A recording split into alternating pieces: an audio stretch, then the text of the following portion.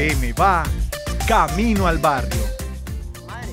Madre, por eso, por eso, o sea, no le he mandado todas las fotos, le mandé nada más la del teleférico, la de las aguas, la del salto, que eso es una belleza, madre. No, sino que no he terminado. Ahorita le mando la de la Virgen que usted me dijo que la quería. No, ma, tranquila que el frío, lo, yo ya estoy acostumbrado al frío, no te preocupes. No, es que en estos días mando por usted para que venga y conozca, no, la casa quedó muy linda. Sí, señora, la tengo limpia. Bueno, chao. Ahí le mandé una nota de voz de un minuto, que es lo que le gusta a mi mamá, notas de voz largas, largas.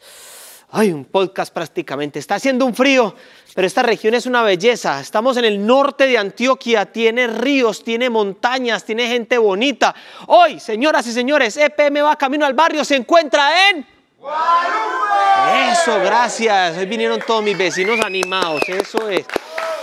Guadalupe, Guadalupe, más de uno sabe de Guadalupe por la Virgen de Guadalupe, pero esa es otra Virgen, esa o sea, la misma técnicamente, pero acá la que nos acobija es otro. Y hoy voy a tener un invitado que me va a enseñar la historia de por qué Guadalupe es pilar en el desarrollo de Medellín. No sería lo mismo si no fuera por Guadalupe y la energía que ha aportado.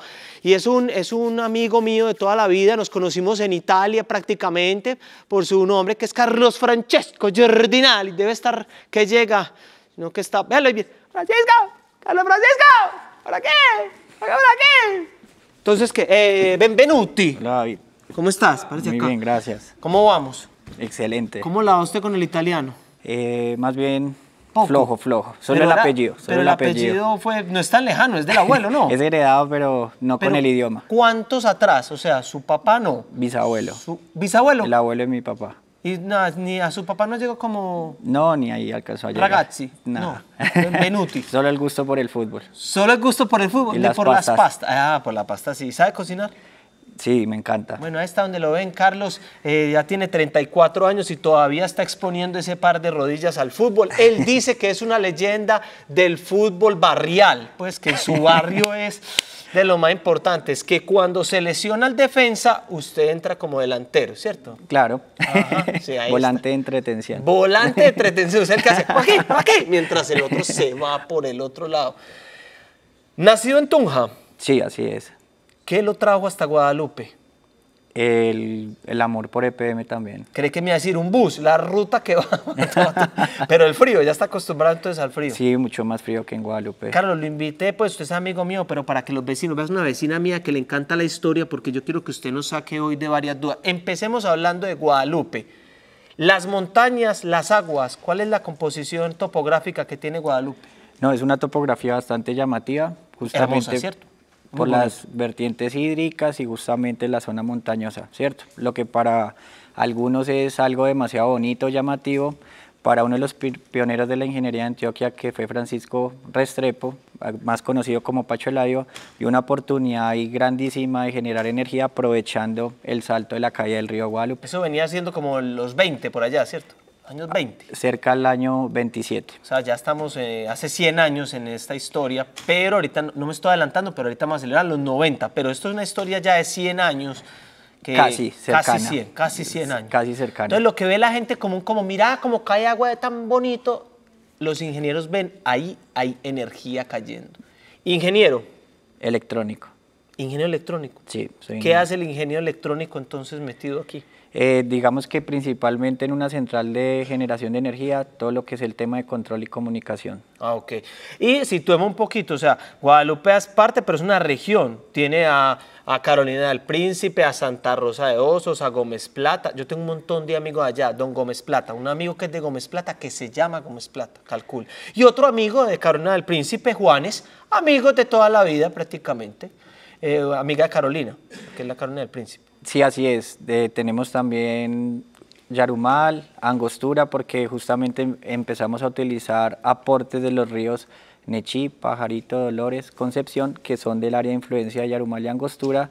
Ya más abajo embalsamos el río Tenche en, la, en el embalse que conocemos como Miraflores y mucho más abajo ya embalsamos el agua del río Guadalupe más los aportes de todo lo que te acabé de mencionar en Troneras, que ya es jurisdicción de Carolina del Príncipe. No, te es- espere, Guadalupe 1, vamos ahí con, porque es que yo he escuchado mucho que se habla de la 3 que de la 4. ¿Qué pasó con la 1? ¿Dónde está Guadalupe primera? O sea, Bueno, toda esta historia inició y empezó justamente gracias a Guadalupe 1. O sea, solo sí esa existió. centro- sí, existió y fue la primera central. ella? Y no existía ni troneras ni miraflores Nada cuando empezó. Simplemente se aprovechó la caída del río, esa caída o esa energía potencial que gana el agua al caer.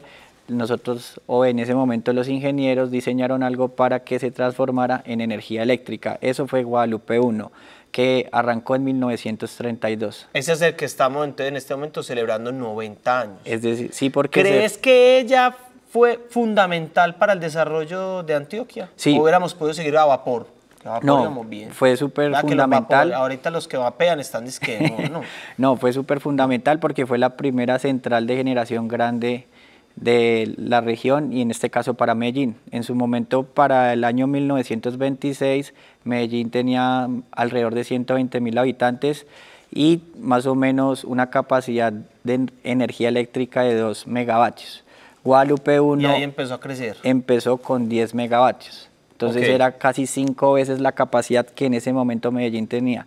Al tener cinco veces más de capacidad, la industria que en ese momento estaba a base de vapor empezó a electrificarse porque al electrificarse sus costos productivos son mucho más económicos. Obviamente podía competir hasta de manera ah, exterior con precios mucho ¿Cuál fue su promedio en la universidad? Eh, 4.9, mentira. 4-9, que- y con rabia, es que 4-9, pero con rabia el profesor me tenía rabia, me tenía rabia. Carlos, seguite, vamos a ver que te tengo preparada una crónica. Pues yo veo que vos conoces muy bien eh, Guadalupe y su historia, pero yo quiero igual mostrarte lo que nosotros encontramos en esta crónica. Vamos a ver. Luz entre montañas es el apelativo con el que se conoce este municipio localizado al norte del departamento de Antioquia, a unos 114 kilómetros de la ciudad de Medellín. Guadalupe, antes conocido con los nombres Real de Minas, La Aldea y El Higuerón, es un municipio joven, aunque su historia viene enmarcada desde muchos años atrás. La cordialidad y gentileza de las personas que lo habitan invitan a turistas y nativos a explorarlo y disfrutar de sus bondades. Un pueblo que rinde homenaje a la Virgen que inspira su nombre y en cada esquina se levanta una imagen de la guadalupana que parece dar protección a sus habitantes y visitantes. Sus paisajes de naturaleza espesa y colorida sugieren establecer contacto con la flora y fauna de la región, donde las rutas de senderismo son protagonistas debido a la variedad de miradores ubicados a su alrededor. La Bola de Cacao es uno de los cerros más emblemáticos que cuenta con las estaciones del Via Crucis, permitiendo a los feligreses realizar prácticas religiosas hasta llegar a la cima de la montaña, donde espera paciente la Virgen de Guadalupe.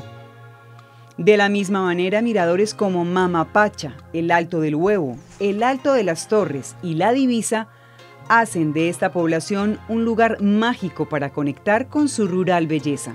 Guadalupe forma parte del inventario energético de Antioquia y del país. Y EPM ha sabido aprovechar el potencial que ofrece este territorio en la generación de energía a través de la cadena Guatrón, compuesta por las centrales de Troneras y Guadalupe 3 y 4, que lleva 90 años generando desarrollo, trabajando y aportando progreso a esta zona del país, cuna de la generación de energía en Colombia.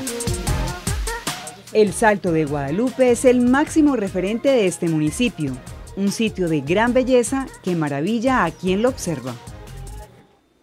Bueno, primero no, felicito al equipo que fue hasta allá. Tremendas imágenes. Imágenes así como al final del día, muy bonito. Se lució Sandra Victoria con las imágenes.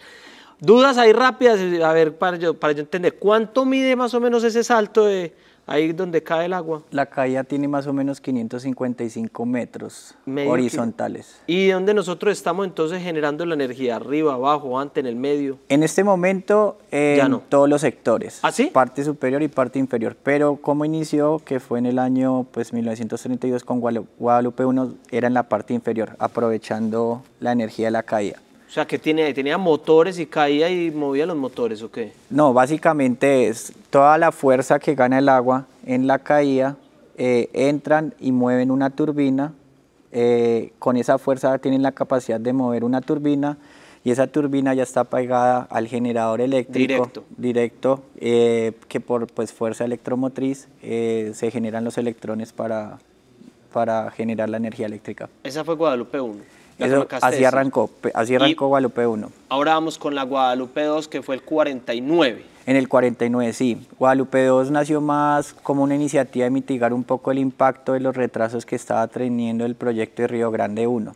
Entonces, al ver que ya había grande la infraestructura montada en Guadalupe 1 y unos diseños y análisis, el proyecto de Guadalupe 2 eh, terminaba más rápido que darle, digamos, un realce, un acelera a Río Grande 1. Entonces, ¿Y, Río 2 Grande es como el mismo sector o qué? es cercano, se podría decir, pero sí, eh, no tan aleaño, pero sí queda en esta zona norte. ¿Y por qué estábamos ahí retrasados? ¿Qué ha pasado? No, digamos que para ese año los, digamos, eh, la economía, los diseños, no- es más, siempre ha habido la pregunta de que qué fue más difícil, si hacer Guadalupe 1 o lo que en este momento hoy es Ituango, que es el proyecto más grande de generación, ¿cierto? Para el momento era igual de retador. Sí, hay gente o hasta los ingenieros mencionan que era mucho más retador hacer Guadalupe 1 que lo que hoy es Ituango, ¿En ¿cierto? serio? Hace 100 años. Sí, pero digamos que es un tema más subjetivo de sensación, pero obviamente No para, hay quienes nos cuenten, sí, eso fue más difícil. pero obviamente hacer Guadalupe 1 por la tecnología, la, la geografía era bastante retador y complejo. Carlos, en Guadalupe 1, ¿crees que ya existía una interconexión eléctrica en el país? Cuando Guadalupe 1 no, en y en verdad Guadalupe 2, en Guadalupe 2 tampoco porque en verdad fue en el año 1955 que en verdad por una iniciativa de ASIEM, que es la Asociación de Ingenieros, empezaron a mirar cómo podían establecer un sistema interconectado. Son y las- fue el mismo año en el que ya se constituye EPM, ¿cierto? Hasta Sí. ese momento no, no existía EPM. No, antes de 1955 quien realizó Guadalupe 1 y Guadalupe 2 eran las empresas públicas eh, municipales. Eh, en 1955 ya se constituye EPM. Bueno, estoy con Carlos que como verán la tiene muy clara, muy juicioso. No he podido corcharlo con ni una. Yo creí que aquí iba a poder tener el primero que iba a corchar, pero no. Y con él además tuvimos el Vox Pop en el que la gente nos da ideas. Vos ya nos diste la respuesta, pero yo quiero compartirte las ideas que da la gente. Vamos a ver la pregunta en este Vox Pop. Y dice,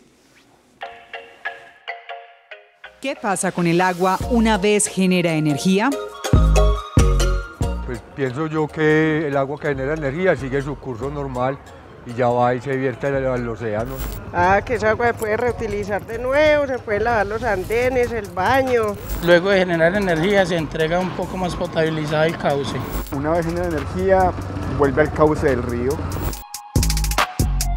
Nosotros en este modelo vamos a representar cómo utilizamos el agua y qué sucede con ella después de que la utilizamos para generar energía. En este proyecto tenemos la simulación del río mediante esta fuente eh, de agua. Tenemos la aducción para que ingrese el agua al recinto de turbina donde está la turbina y tenemos la descarga.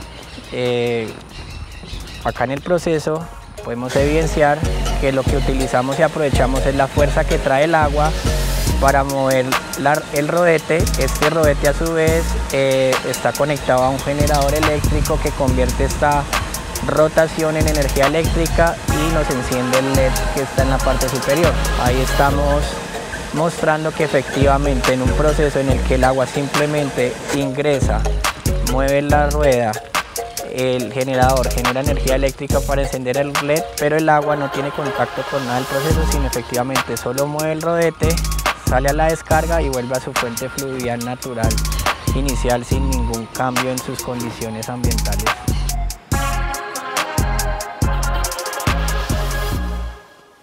Pregunta rápida. ¿Quién hizo la maqueta y no me vaya a decir que fueron sus papás? No, fue justamente el equipo de trabajo con el que contamos para sostener y operar toda la, la cadena. A mí hay una cosa que me gusta mucho, es que yo he visto que todos ustedes tienen como una, un alma pedagógica, a todos les gusta explicar en lo que trabajan, ¿cierto que sí? Sí, pues Porque pueden haber dicho, no, yo aquí les explico con palabras, no, vamos a hacer una maqueta, traiga las cucharas del, del comedor, y vamos a ponerla, conécteme una manguera, y la señora, ¿por qué no tengo las cucharas para la sopa del almuerzo? Ay, estos muchachos. Sí, el mayor reto es tratar de explicarlo sin tecnicismos, sino a decírselo a las personas de la palabra más sencillas. Entonces, entra el agua, activa la turbina y vuelve y sale y no, no tiene ningún tipo de contaminación ni se ve afectada de ninguna forma. Así es, no, él- ella solo entra a lo que denominamos nosotros recinto de turbina, mueve la turbina y sale a la descarga. El resto del proceso está por fuera. Bueno, vamos a seguir con la historia. Vamos a brincar ahora a Guadalupe 3, que ocurrió en el 62. Así es, en 1962 entra, eh, a mediados de 1962 entró una unidad de Guadalupe 3 y a finales ya dos unidades, que es lo que nosotros conocemos como la etapa 1, con 90 megavatios, 45 megavatios cada una. Ahí estaban las troneras ya. Y paralelamente todavía... Ah, son dos distintos. Sí, eh, y paralelamente planta troneras o generación troneras no, pero embalse sí. Entra a operar el embalse de troneras. ¿Con qué misión? Eh, básicamente cuando uno embalsa agua es tener un respaldo de energía, una cantidad de agua con la que yo pueda regular mi generación. Entonces, Eso es el 64. Más o menos. Eh, es Hoy correcto. estamos de un histórico. Hoy estamos en un histórico impresionante. Estamos conociendo todo lo, todo lo que significa Guadalupe, 90 años, estamos celebrando. ¿Le partieron torta o algo? Entonces ahí voy. En el 62 entra el embalse a operar, pero en el 64 entró una unidad de troneras a generar. Y, es, y en el 65, ya con conmemoración de los 10 años de la creación de EPM, entra troneras las dos unidades a generar con 38 megavatios. Y aquí viene la parte, la historia. ¿Qué ocurrió con Guadalupe 1? No me han dicho qué pasó, se elevó palos, qué pasó con la 1 y la 2. Bueno, Guadalupe 1 y Guadalupe 2 siguieron trabajando hasta el año 85. ¿Por qué? Porque en el año 80... 60 años le dieron. Es correcto. ¿Por qué? Porque en el año 85 ya entró a operar Guadalupe 4. Y ya ahí Sí. pudo descansar. Dijo, hasta aquí doy yo. ¿Qué es lo que Ahorita Le voy a pasa? dejar una pregunta, ahorita, ahorita se, la, se la, la hago, es ¿por qué caducan? O sea, que ¿por qué no siguen generando energía? Pero téngamela ahí para que la gente diga, ay, no, yo no me desconecto para saber qué es lo que hay, ¿por qué no siguen trabajando? Porque siempre me dicen, ya esta no, ya esta tampoco. Yo sí quiero saber qué es lo que pasa. Vamos con una trivia. Yo creo que aquí lo voy a corchar. Vamos a ver, porque como ustedes, Vamos a ver. ¿cierto? De Tunja. De Tunja. Vamos a ver si conoce esta respuesta. Si la sabe, no me la dice hasta después de comerciales. Y dice nuestra trivia de hoy. ¿Qué es el higuerón? ¿Sabe? No, sabe. No. A. Gran árbol de la Vega de los Ríos. B. Famoso vallenato de mi novio de oro. C. Nombre original de Guadalupe. O de todas las anteriores. Vamos a un corte comercial y ya regresamos para saber la respuesta a esto y mucho más.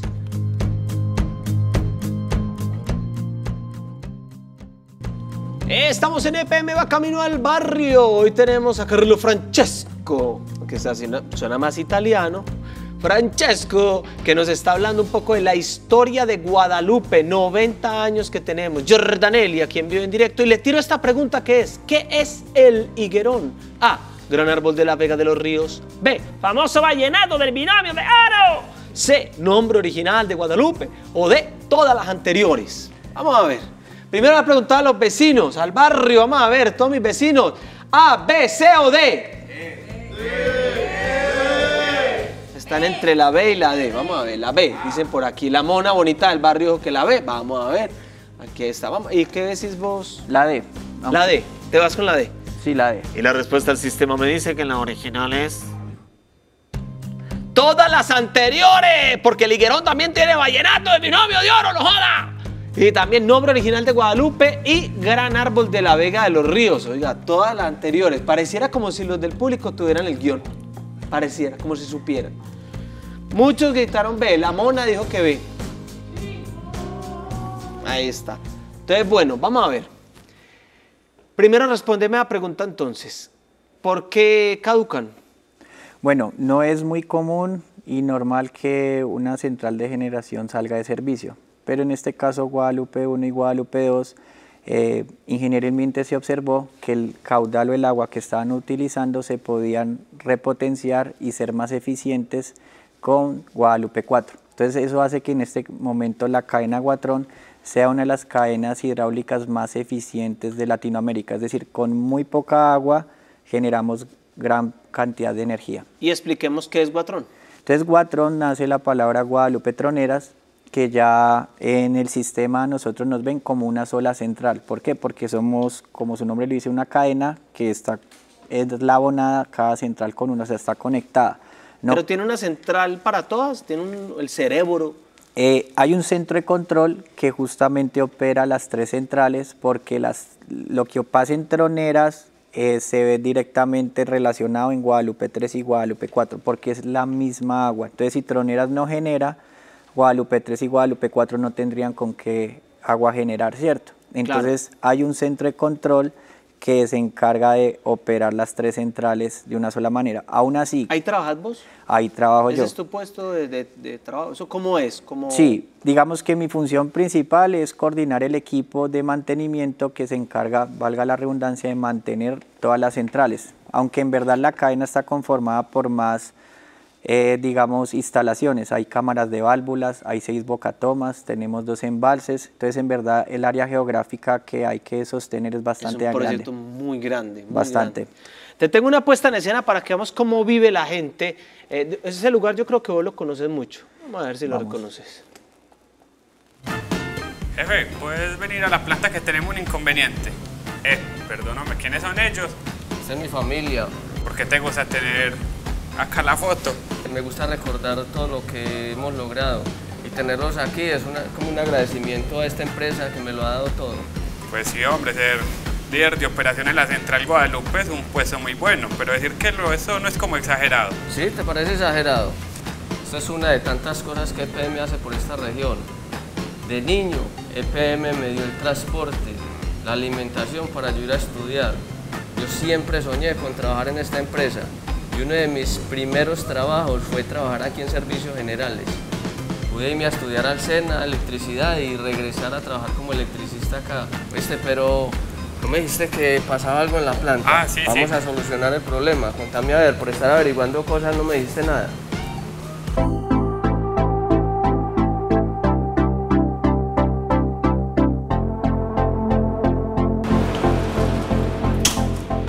Si empezaste desde abajo, hombre, ¿cómo ves que lograste ser acá líder de operación? ¿Sabes cómo se logra eso, hombre? Trabajando y estudiando duro, que es lo que tenemos que hacer todo en esta empresa. Vení, tomémonos una agüita y te termino de explicar qué es lo que pasó. Hombre, Weimer, es que yo te pregunto porque yo la verdad quiero ascender acá también en la empresa. Yo ahí estoy estudiando la tecnología con el SENA en electricidad. Yo también quiero ser líder acá en la central. ¿Sí?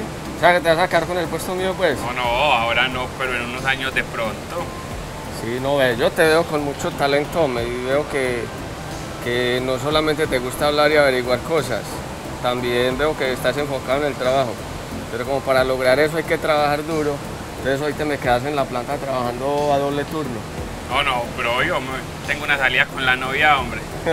Una salida, tenía, tenía. Vámonos a trabajar más bien, hombre. Tenía, tenía, es así, ¿cierto? Sí. ¿Vos vivís allá? Eh, sí, entre semana de lunes a viernes, pero no todo allá. Con un proyecto tan grande como este, ¿qué se puede hacer con la comunidad? ¿Qué, qué hemos hecho? Bueno, como Weimer lo dijo, él justamente es de la comunidad y él mismo mencionó que inició en servicios generales, ¿cierto? Entonces el proyecto ha impulsado a que la empresa efectivamente haga alianzas con instituciones educativas para justamente generar esos espacios a que la región, al ser tan, tan lejana de Medellín, eh, la gente tenga más fácil acceso a la educación, ¿cierto? Eh, segundo, el, el hecho de tener toda esa infraestructura, las malla vial está, digamos, sostenida de muy buena manera. Eh, tenemos el teleférico que efectivamente, eh, aunque se creó inicialmente con fines operativos, es un servicio que la comunidad se ha visto bastante beneficiada para tener pues, los traslados de la parte superior que son Gómez Plata, Carolina del Príncipe, Gom- eh, Angostura y ya hacia la parte inferior Amalfi, Anorí. Digamos también que eh, todo el, tema ambiental que se tiene que hacer, no solo porque PM efectivamente, pues al tener licenciada el agua para usar, generar energía, eh, tiene que, digamos, resta- eh, restablecer de cierta manera, EPM pues siempre ha tenido la ideología de ese sentido social y hace más que eso, ¿cierto? Entonces... Y yo creo que ahí, Carlos, incluso Ahora vamos a devolverle, siempre es como EPM lo está haciendo por la comunidad, siempre tiene la comunidad, pues yo creo que ahora también es bueno agradecerle al proyecto, porque el proyecto, si no fuera por el proyecto, yo creo que no sería el mismo desarrollo que tiene nuestra ciudad. Entonces, a todos los de la cadena de, de Guatrón, Queremos de parte nuestra pues un abrazo, feliz cumpleaños, que sean muchos más. Gracias porque sabemos que por ustedes estamos donde estamos. Ahí está el desarrollo, eso son los que han hecho. Y ahora que vamos a dar una vista que usted como es el guía turística, necesito una foto en el salto que mi mamá me está diciendo que para que le mande, que a ver la Virgen, que la gente camine. Vamos, ¿cómo está de físico para caminar? Pues no, pues como, así como usted no creo, como usted es delantero, pero adelante. No, lo pa. veo bien. ¿Cierto que sí? Sí. No, no, María, yo entrené toda la vida. Quieren echar un piquecito y verá. Oye,